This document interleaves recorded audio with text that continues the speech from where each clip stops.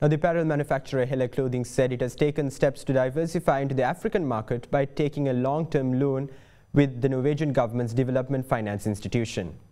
Meanwhile, in order to secure a safer future for the firm, Sri Lanka Eastern Merchants say it will focus on diversifying and enter new markets while adopting cost optimization methods.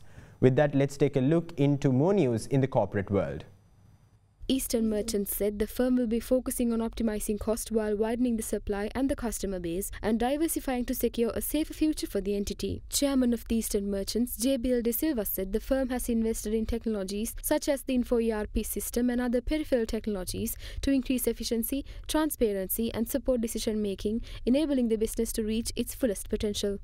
Sri Lanka apparel manufacturer Hela Group has entered a long-term loan agreement of up to 40 million US dollars with Norfund, the Norwegian government's development finance institution, to support the upgrading of Hela's operations in Africa as well as strengthening the organization's supply chain partnerships in the region. The chairman of Hela, A.R. Rosaya, said the short-term outlook for demand remains highly challenging and the management is adapting to an agile positioning and has established a comprehensive strategy to ensure a return to profitability in the very near future.